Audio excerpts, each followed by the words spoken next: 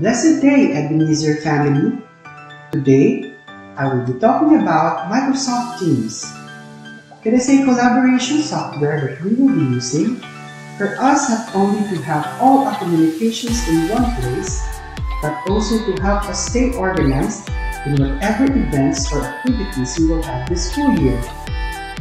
In this video, I will be teaching you how to sign in your Microsoft Teams account. But before we do that, I want you to download an app on your smartphones. The app is called Microsoft Authenticator. It is available in both Play Store and App Store. While waiting for Microsoft Authenticator to download and install, you may want to hit the pause button on this video first.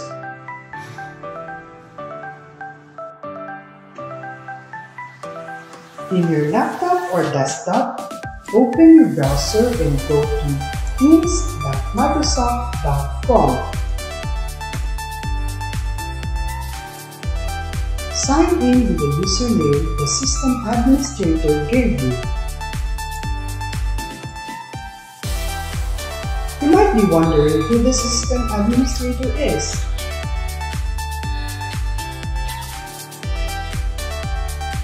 Type the password the system administrator gave you.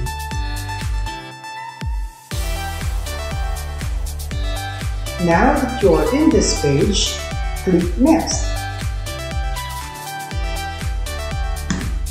Here, choose Receive Notification for Verification. Then click Set As you can see, you have instructions here. Simply follow them. And using the Microsoft Authenticator in your smartphones, scan the QR code.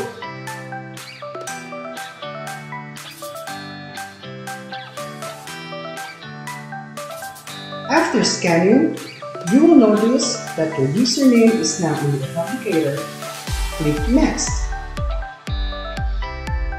Click Next.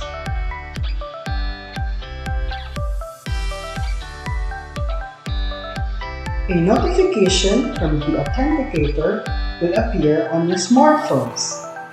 Click Approve.